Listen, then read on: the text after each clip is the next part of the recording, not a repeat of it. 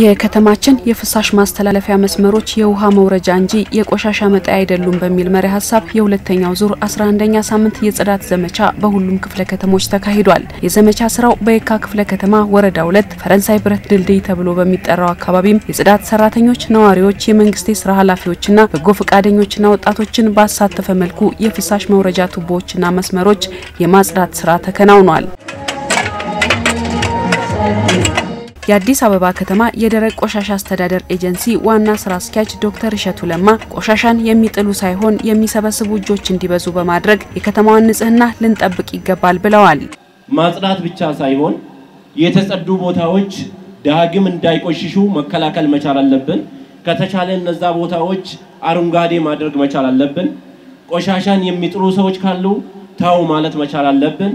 እንደዚሁም በአጠቃላይ ሁል ጊዜ ቆሻሻን መሰብሰብ ሳይሆን ቆሻሻን ባልተገባ ቦታ ላይ ባለማጣል።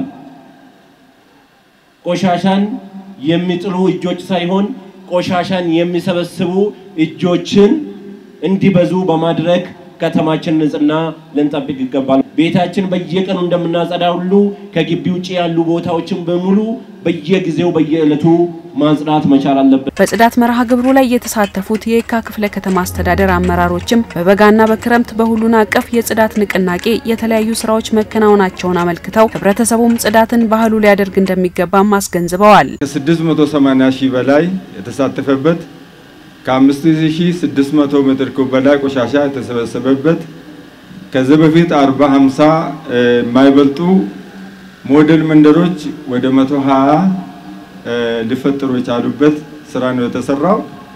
ይህንን ስናይ የጽዳት ንቅናቄ እውነትም ሁሉ አቀፍ እንደሆነ ሁሉንም የህብረተሰብ ክፍል ያነቃነቀ እንደሆነ ለማየት ሞክረናል። ያለምንም ቀስቃሽ ያለማንም አነሳሽነት ህብረተሰቡ ይሄን የጸዳ አካባቢ እየተረከበ ቀጣይነት ባለው መንገድ አካባቢውን እያጸዳ ጽዳትን ባህል እስኪያደርግ ድረስ በሚኖረው ንቅናቄ ላይ ተሳትፏችንን ይበልጥ እያጠናከርን እንድንሄድ በዚህ አጋጣሚ አደራ ለማለት እወዳለሁ። በጽዳት ዘመቻ መርሃ ግብሩ ላይ የተሳተፉ ነዋሪዎችና የጽዳት ሰራተኞችም የአካባቢ ጽዳት መጓደል የአካባቢን ገጽታ ከማበላሸትም ባለፈ የህብረተሰቡን ጤና ስለሚያውክ የጽዳት ስራን አጠናክሮ ማስቀጠል ያስፈልጋል ብለዋል። ይሄ ሽንት ቤት ይለቁበታል።